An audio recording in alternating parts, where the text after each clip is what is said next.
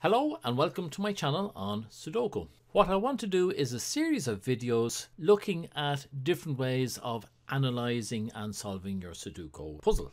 I'm using Duncan's Sudoku solver and this is the website here littlecogs.com and you can download the solver here just put in your email address there submit and you'll get a link and these series of videos I'm going to be looking at all of these different ways of analysing normal Sudokus. That's it, so let's get down to work.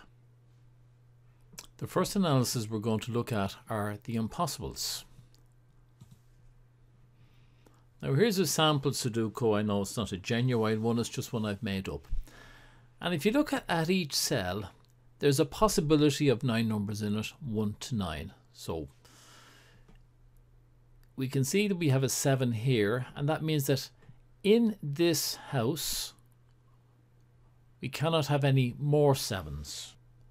So we just get rid of the 7s that are already in that house. That's all impossible impossibles means. It says make sure that you don't have any number there as a possibility that's illegal.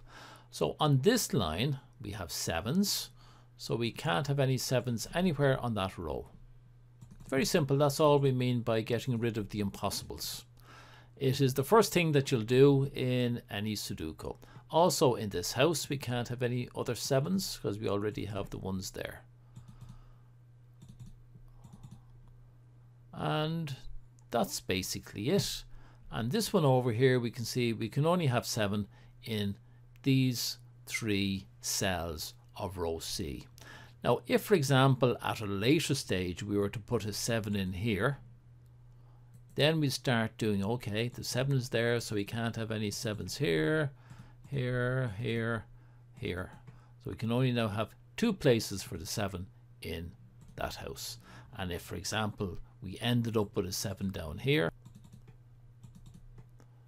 these would all go that one will go and then we'll be left with just a 7 here because that's the only possibility of a 7 because all the impossibles have been got rid of.